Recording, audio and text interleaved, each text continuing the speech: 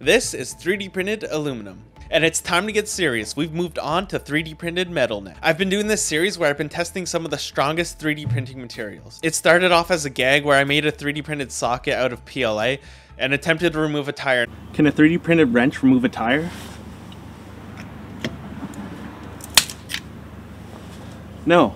Obviously it didn't work, but here we are now. I've been able to do it with a few different materials. And yes, I know I called it a wrench in the video. Please leave another comment letting me know that. You can watch the previous videos, but I'll also catch you up real quick here. So last time I tested PEEK, which is one of the strongest 3D printing materials other than metals, and it did really well. It was able to remove a lug nut that was torqued down to 100 pound feet, but it failed just shy of 120. And the time before that, I tested one that was made of nylon carbon fiber. In the first attempt with that one, it broke at 80 pound feet, but I reprinted it and tried it again and I was able to remove it at 100 pound feet. I also messed around and tried it out on an impact wrench, which it broke immediately, but I might want to try it again with this aluminum one. Now, as metals go, aluminum is not one of the strongest, but I think this will do really well. It's thick, it feels really solid. My thought on how it might fail is it might round out on the inside. Aluminum is a little bit softer, but just feeling this, it feels really strong, so I'm confident it'll surpass any of the plastic materials I've tried so far. So let's get to the test and let's quickly go over the setup as I've done this a few times now. So I'm going to torque these lug nuts down using a torque wrench. I'm going to start at 40 and go up in increments of 20 until we get to 120. So far nothing's been able to go past 120, but I think this one might,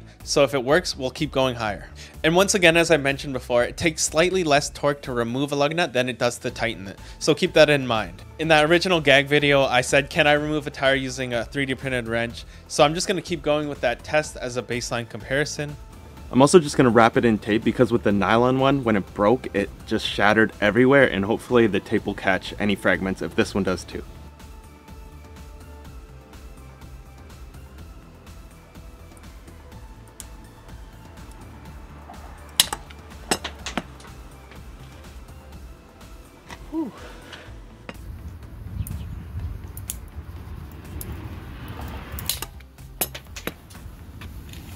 Since I don't have a printer capable of printing aluminum, I had PCBWay print this one for me. More on that later.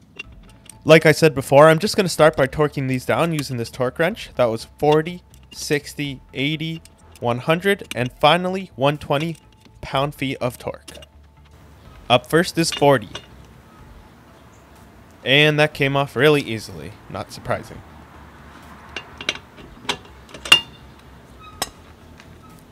And that is me neurotically checking if the camera's recording, and we're all good. Let's get back to it. On to 60. And also pretty easy. Let's see how 80 goes. Okay, easy so far as expected. We're up to 100 now, and that's what the other one's got too.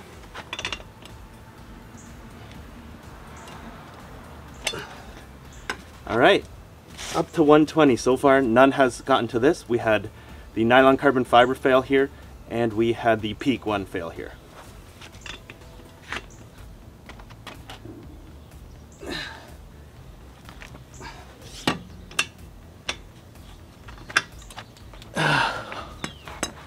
And that was pretty good. So I'm gonna keep going higher. Let's try 140. See how that goes. Maybe 160. I'm afraid to go too high in torque on this because I could break the wheels, but I think that should be okay. And then I'm gonna try the impact wrench as well and see how that goes. Once again, torquing them down. That one's 140 and the next one's 160. That's pretty hard. okay.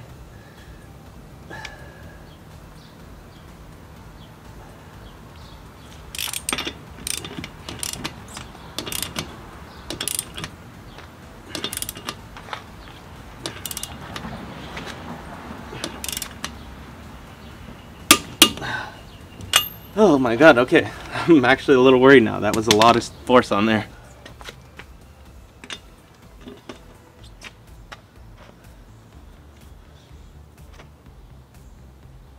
Oh yeah. Maybe a bit of warping maybe, or...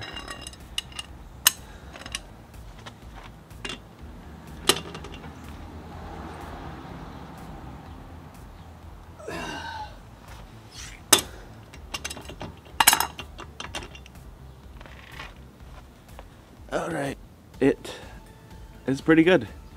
Not much deformation or everything. You can see a little bit of scratches where it's starting to press into the metal just a little bit, but it's pretty strong. I think it's okay. I'm gonna try it on the impact wrench now. I'm gonna just torque them down to 100 again and just go at it like I'm auditioning for NASCAR and just take it off as fast as I can.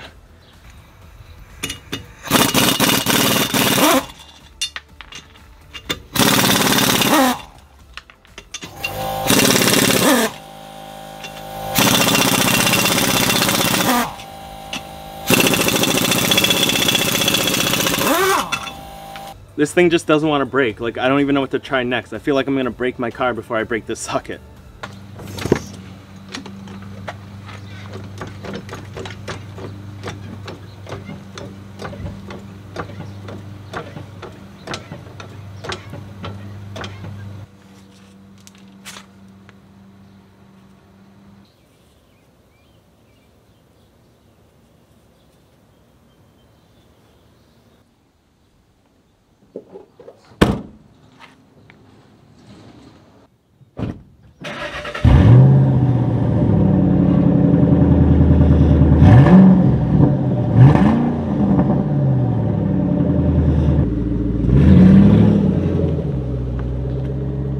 So, I can't seem to break this one. Not with this test anyway. I'll have to come up with some new tests to really push it to its limits. Now, I think the impact wrench was the only thing able to do any damage. You can see a little bit of deformation around where the impact wrench went in.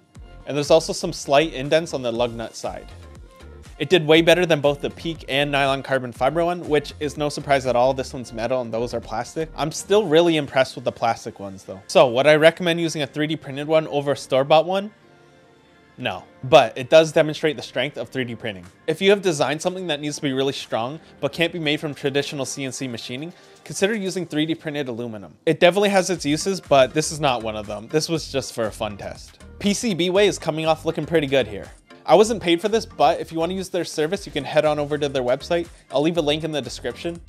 They're a very easy service to use. You just got to bring over your file, load it up, and select the materials you want, select the other specifications such as infill, and then you'll have an expert look over it before they make it and send it off to you. They ship it away nicely packaged and it comes very quickly as well. One thing that I was impressed with was the dimensional accuracy of it. I know metal's prone to shrinking, so I was really happy that the dimensions were accurate. Full transparency, I was sent this free of charge, but with no obligation to say positive things about it. Thank you so much for watching. I've started a Patreon now, so if you want to check that out, there's a link in the description. You can get your name up here at the end of every video. If you like the video, leave a like, consider subscribing, and I'll see you next time.